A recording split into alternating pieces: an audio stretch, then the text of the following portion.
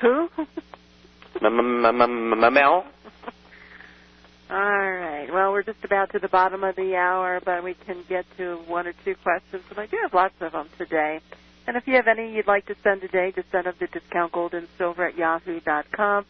And this is in from Peter. There seems to be a lot of ads from these cash for gold companies in the past year. We didn't see as many of these in the past. Are these ads are they coming out specifically at this time because the people who run these companies know what is going to happen or are gearing up for the gold explosion in price? I think that's the case, but also they realize as well that people are hard up for money, and they're only giving them 30 cents on the dollar. And mm-hmm. they, they have a lot of protection. And the people who are sellers, most of all, most of them are, are hard up. Also, I received an email from uh, one of my clients, and he says uh, in the area that he was at, they found out there was they were actually scamming the people, and they were actually shut down. So, folks, you got to be careful. You know where you send your gold to, how you do this. I mean, I, you know, if you have anything you want to unload, you know, I, you know, might know of someone that you can send your things to and so forth. And if you're looking to sell your gold coins, you just sell them back to me. So, you know, be careful because there's a lot of scams out there. And I'm not saying they're all scams, but the information that was sent to me by my client, uh, there was certainly one that was shut down uh, because they were only paying pennies on the dollar, and it was taking months for the people to get their money. And um, so, just be careful. Sounds like some of the coin dealers. Yeah, really. And You uh, you know, you can- you can expect six weeks or less, but when somebody doesn't get their coins in three or four months, you got a problem. No, Bob, even six weeks. There is no reason people can't get their coins in less than four weeks. Absolutely no. There's no reason people can't get their coins in three weeks. Absolutely not. I mean, they're just holding on to people's money. I mean, how fast? I banks clear checks anymore overnight, and if you bank wire the funds, there's no reason it should take a month for people to get their product. Now, if they go in and they buy special coins and they know up front, you know, if they're looking for a special date or if they're looking for a special collection or, you know, if, it's a, a special circumstance. Um, but I mean, if it's uh, usually mo- most orders, and there's always that, uh, you know, fly in the ointment that you know things go wrong and things get sidetracked. But uh, for the most part, you know, people should be delivered. Uh, shouldn't be, you know, more than four, five, six weeks for delivery. I mean, too much is going on, and anything can happen at any point in time. And uh, so I think urgency in getting these products. I certainly wouldn't want my hard-earned dollars out there tied up someplace for six, seven, eight, twelve weeks. But it amazes me. But that's the majority of the uh, shipping deliveries out there. So. 800 375 4188. That's 1 800 375 4188. And uh, if you have any questions, you can email them to discountgoldandsilver at yahoo dot yahoo.com. Discountgoldandsilver at yahoo.com. And also there's a question, you know, a lot of comments about these, you know, pools that you supposedly buy gold and they hold it in their possession. Folks, you don't let anybody hold your gold. I don't care what kind of bargain you think that you're getting. I mean, I mean, do you agree, Bob? I agree. The only exception is retirement accounts. I mean, it's just like what you you mean the IRS? Yeah. And there's the break, and we'll talk about those in just a few moments. Most of them are illiterate. Yeah, I know it. Good afternoon. You're listening to Financial Survival, sponsored by Discount Gold and Silver. For all your gold and silver coin needs, give us a call at 800 375 4188. That's 1 800 375 4188. And for your complimentary issue, you can also use our 800 number. And Bob, would you like to tell us about the International Forecaster, please?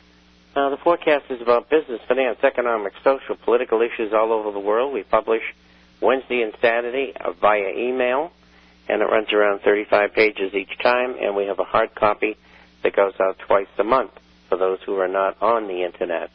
You can go to our site and take a look, and that address is the International Forecaster.com. The International, F-O-R-E-C-A-S-T-E-R dot com. If you have a question, you can email us, and that address is B-O-B at I-N-T F-O-R-E C-A-S-T-E-R dot com. Bob at intforecaster dot com.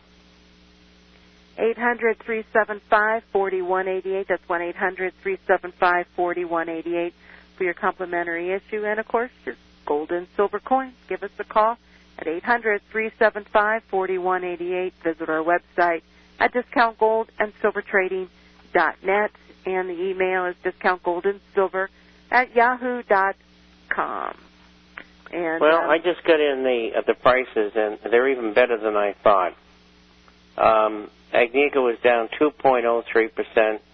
Uh, Goldcorp 2.41 percent. Uh, Minefinder is 4.94 percent, and uh, Silver Standard 2.40 percent. And for gold, uh, being off uh, as much as it was today, uh, that's a, a, a very big uh, plus. Uh, they could have been off a lot more.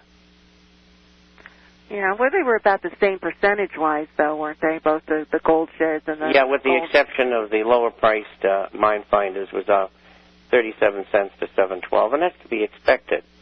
Uh, there's only 60 million shares outstanding. It's a lower price stock. It's very heavily traded. Trade is, trades four or five hundred thousand shares a day, and um, and so that's to be expected. Um, is TARP cash and bailout a Trojan horse for Obama to control the banks and other corporations, such as car makers? They do get upset when some of the institutions want to return the government's money. Because Well, you know, because I don't want the control. Uh, because uh, in behalf of the Illuminists, uh, Mr. Um, Mr. Uh, what's his name? which one? The other the other name that Obama has.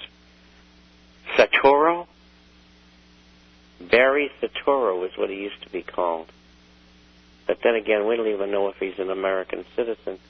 But anyway, um, Ge- Geithner is doing what the elitists want him to do, and that is to do with corporate America as they see fit. And when you go and you fire the CEO of one of the largest firms in the world, and the whole the whole board of directors, um, there's nothing in, in the Constitution that gives the president or the Secretary of the Treasury the right to do such a thing.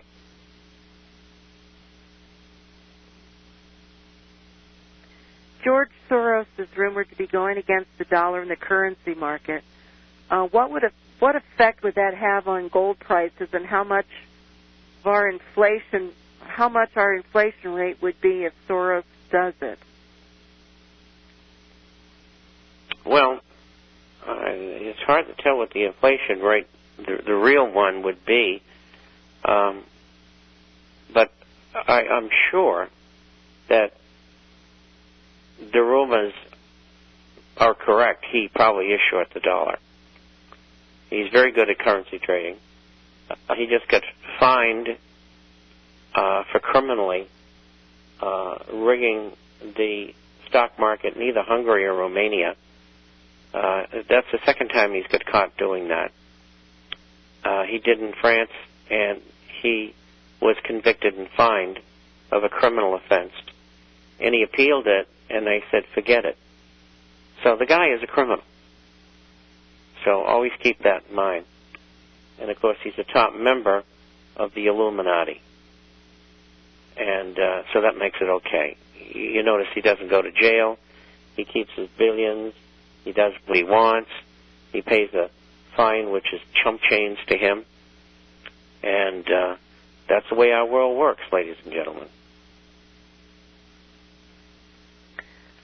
Um, during the probable week of bank and market closures in the future, the government will likely do an instant revaluation, devaluation of the U.S. dollar, and revaluation of gold like President Roosevelt did in 33.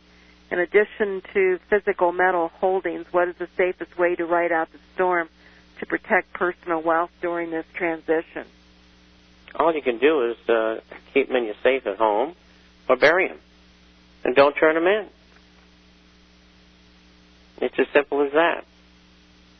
I mean, more often than not, they don't know what you've got. But I don't think that you're ever going to see a individual confiscation of gold. It's too difficult. And, you know,